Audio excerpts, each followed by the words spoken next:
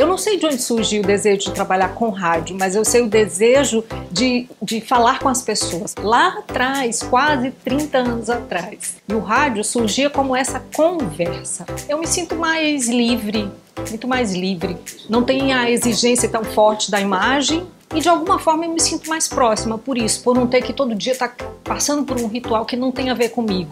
Eu tenho mais a ver com, com isso, com despojamento, com cara limpa. Nesse papo aqui você mete a colher. E a gente tem tentado desmistificar algumas questões, trazer cada vez mais a voz das mulheres. É uma questão de representatividade mesmo.